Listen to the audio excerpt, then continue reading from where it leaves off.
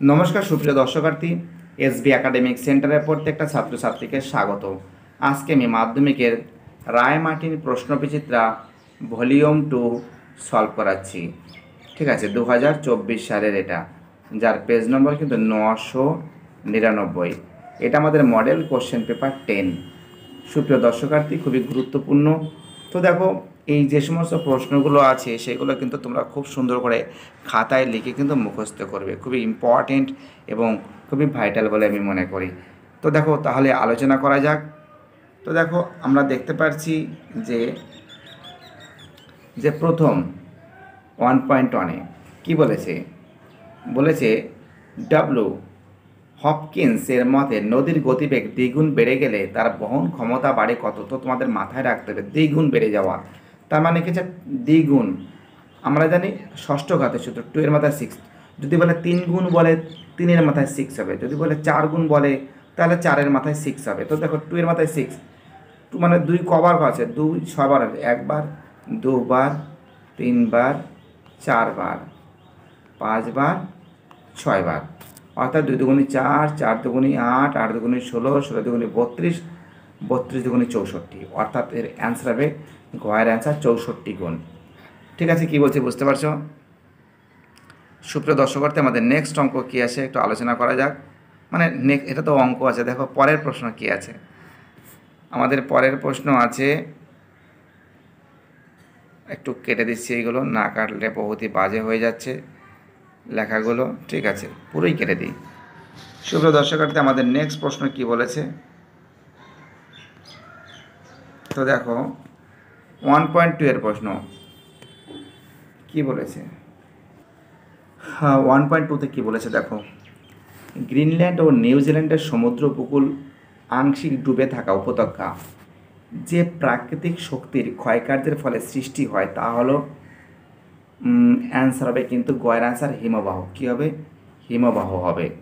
One point থ্রিতে মরু অঞ্চলে বায়ুর ক্ষয়কার্যের ফলে গঠিত ব্যাঙের ছাতার মতন ভূমিরূপটি হলো। অ্যান্সার হবে আমাদের কিন্তু গৌর হবে। কি হবে?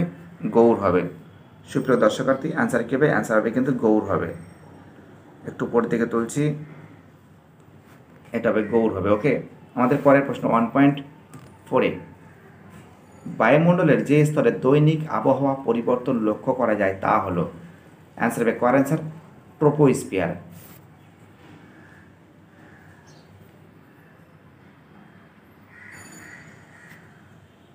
অ্যান্সার কী হবে? অ্যান্সার হবে ট্রোপোস্পিয়ার হবে। ঠিক আছে? একটু কেটে দিচ্ছি। জায়গাটা বোঝা একটু মুশকিল হচ্ছে। ওয়ান পয়েন্ট ফাইভে দিন রাত্রে তাপমাত্রার পার্থক্য সবচেয়ে বেশি দেখা যায় কোথায়? অ্যান্সার হবে উষ্ণ মরু অঞ্চলে। তুমি দেখবে, এই যে মরু অঞ্চলে বা উষ্ণ মরু অঞ্চলে দিনের বেলায় প্রচণ্ড পরিমাণে গরম থাকে আর রাত্রেবেলায় কী আছে? প্রচণ্ড পরিমাণে ঠান্ডা থাকে। অর্থাৎ এখানে কিন্তু তাপমাত্রার কিন্তু পার্থক্য ব্যাপক পরিমাণে লক্ষ্য করা যায়। ঠিক আছে? দিন এবং রাত্রি কিন্তু অনেক পার্থক্য। ওয়ান পয়েন্ট সিক্সে ভোরা জোয়ারে পৃথিবীতে, পৃথিবীর সাপক্ষে চাঁদ ও সূর্য থাকে। এটা কিন্তু একশো আশি ডিগ্রি কোণে থাকে। ভরা জোয়ার পৃথিবীর সাপক্ষে চাঁদ ও সূর্য থাকে একশো আশি ডিগ্রি কোণে। পরের প্রশ্ন ওয়ান পয়েন্ট সেভেনে ভরাটকরণের সময় যে গ্যাস উদ্ভূত হয়, সেটি হলো অ্যান্সার হবে অ্যামোনিয়া। অ্যান্সার কী হবে? অ্যামোনিয়া হবে। ঠিক আছে? আমাদের পরের প্রশ্ন কি বলেছে? একটু সরিয়ে দিচ্ছি।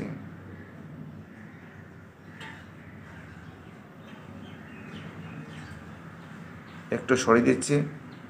তো দেখো, আমাদের পরের প্রশ্ন ওয়ান পয়েন্ট এইটে ভারত ও শ্রীল, ভারত ও শ্রীলঙ্কার মধ্যে অবস্থিত অ্যান্সার কয়ের অ্যান্সার পক প্রণালী। ওয়ান পয়েন্ট নাইনে ভারতের প্রাচীনতম ভঙ্গিল পর্বত হল অ্যান্সার হবে কয়ের অ্যান্সার আরাবল্লী ওয়ান পয়েন্ট অঞ্চলতে ভারতের বৃহত্তম বহুমুখী নদীর পরিকল্পনা হলো গয়ের অ্যান্সার ভাকার নাঙ্গাল প্রকল্প। ঠিক আছে? আমাদের পরের প্রশ্ন কি বলেছে আলোচনা করা যাক। পরের প্রশ্ন বলেছে যে, ভারতের সবুজ বিপ্লবের প্রভাব সবচেয়ে প্রথম বাড়ে। তো দেখো, সবুজ সবুজ বিপ্লব কিন্তু গমের উপর নির্ভর করা হয়েছিল, গম। ওকে? ওয়ান পয়েন্ট ওয়ান টুতে ভারতের বৃহত্তম শঙ্কর ইস্পাত কারখানা গড়ে উঠেছে। কয়ের অ্যান্সার হবে Salem. Salem. One point one থ্রিতে ভারতের ব্যস্ততম সড়ক পথটি হলো অ্যান্সার হবে N H nineteen N H nineteen one point one ফোরে জিও স্টেশনারি ও বা ভূষ্মলয় উপগ্রহ হলো অ্যান্সার হবে খয়ের answer I N S A T I N I N R আছে হলো এস এ টি এর অ্যান্সার হবে। সুপ্রিয় দর্শকার্থী বাকি যে প্রশ্নগুলো আছে, এইগুলো কিন্তু খুবই শীঘ্রই আমি সলভ করে দেব। খুব ইম্পর্টেন্ট প্রশ্নগুলো। ভিডিওটি দেখার জন্য এসবি একাডেমিক সেন্টারের তরফ থেকে প্রত্যেকটা ছাত্রছাত্রীকে জানাই অসংখ্য ধন্যবাদ।